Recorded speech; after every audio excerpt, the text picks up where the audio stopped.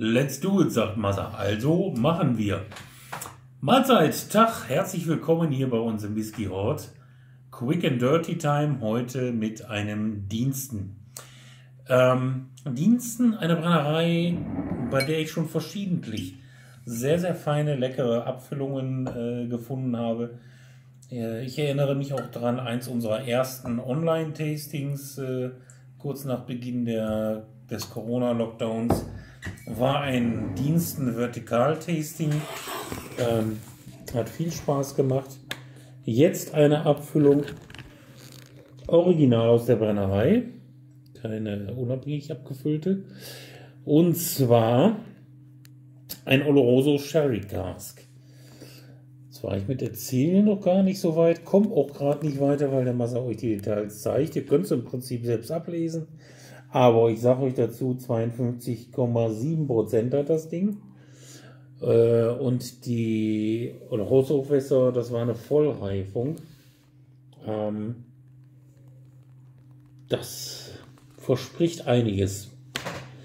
Oloroso äh, scheint in letzter Zeit so ein bisschen häufiger aufzutreten, so mein Eindruck.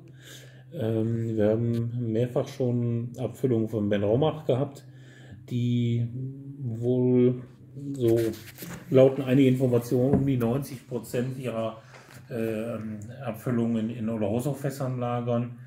Äh, hier von Diensten jetzt, von Dale Wayne hatten wir einen äh, von Duncan Taylor einen Deloan reinbekommen, einen zwölfjährigen.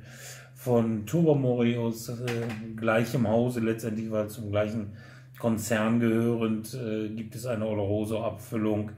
Ähm, also in letzter Zeit taucht der Begriff häufiger auf. Der hier ist von 2008, wie sich das gehört, nicht gefärbt, nicht kühlfiltriert. Und ja, richtig schöne, dunkle, trockene Aromen. Dunkel, man sieht es auch schon an der Farbe, der ist echt richtig satt dunkel geworden.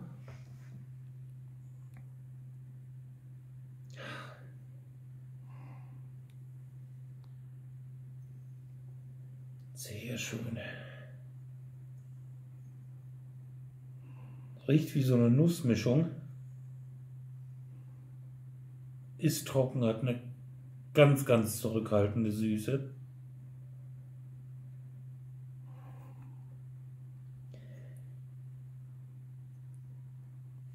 Ein bisschen so ein Eindruck wie so ein ja, schwarzer Tee, ein kräftiger schwarzer Tee, ein Assam vielleicht, der gut durchgezogen ist.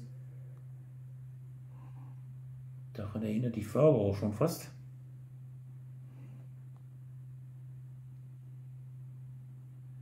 Ah, einfach lecker. Hatte ich glaube ich schon mal erwähnt, dass ich auf Oloroso-Abfüllungen stehe, oder? Sehr schön. Es wird probiert. Lounge.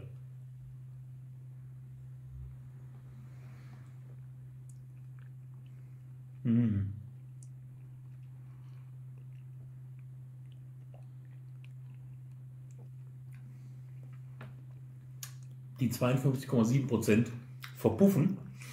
Das nimmt man nicht wirklich wahr. Ganz weich, ganz rund. Auch hinten raus keine Alkoholschärfe. Sehr feines Ding. Im Mund ein Tick süßer als in der Nase. Ähm, das gibt so eine süßlich leicht malzige Grundnote mit etwas Nussaromen.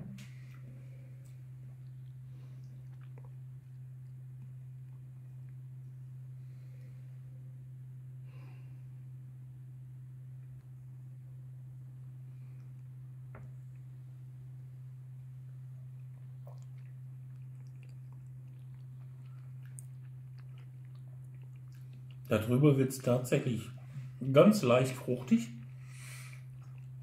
Aber diese Nussmischung mit der leichten Süße dabei, rohe Zuckermäßig, ein bisschen, ein bisschen in Richtung Blockmalz gehend, ist schon der Hauptbestandteil. Richtig feines, sämig weiches Ding. Hm. Dank 52,7% auch gut in mehreren Einheiten am Abend äh, genießbar, ohne dass man sich äh, Sorgen machen muss, dass äh, selbige zu früh zu Ende ist. Oh, gefällt mir sehr gut. Was ich jetzt nicht gemacht habe, ähm, um das Ganze abzurunden, nach dem Preis zu gucken, da muss ich mal eben schauen. 96,90. 2008 leider nicht angegeben. Wann? Ah, es steht immerhin drauf 12 years old. Also die 13 hat er nicht ganz geschafft. 12 Jahre alt. Fast stark. Das äh, nicht gefärbt, nicht kühl filtriert, versteht sich. Ähm, von daher, ja, geht gerade noch der Preis, ist noch unter 100 Euro. In der Region bewegt man sich heutzutage leider bei solchen Abfüllungen. Aber mir gefällt er so. Trifft genau meinen Geschmack. Euren auch? Findet's raus. Kommt rum und probiert, wenn ihr in der Nähe seid. Besorgt euch irgendwo ein Sample oder sagt, äh, klingt spannend, ist genau mein Beuteschema. Ich bestelle mir eine Flasche. Wie auch immer, es liegt in eurer Hand. In meiner Hand liegt es jetzt, das Video zu beenden. Vielen Dank, dass ihr dabei wart. Es hat mich gefreut, euch den Whisky vorstellen zu können. Und beim nächsten Mal wird es garantiert ein anderer, das verspreche ich euch. Wir sehen uns wieder. Bis dann. Ciao, ciao.